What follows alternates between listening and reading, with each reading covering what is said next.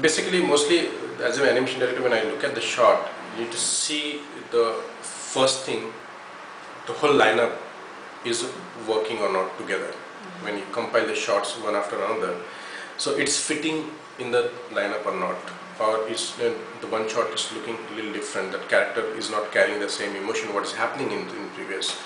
So that is the first lookout when the story you know that is in your head, and then we see okay this is something like going off track. So that is the first thing as an animation director has to see the, the correction.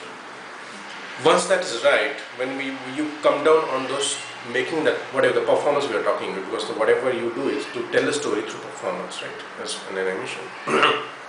Once that is fitting, the performance, the basic idea behind that performance is like fitting the story. Mm-hmm. You see that performance is believable or not, because that has to look believable again to just make connect the audience. Right? Then it comes on that to make it more believable. What are the things you need to have? You learn those basic principles of animation, the way of you know, this particular way of doing certain things. You come on that. That's the polishing thing I can say. It's the two major uh, aspects I can say that you look at the shot.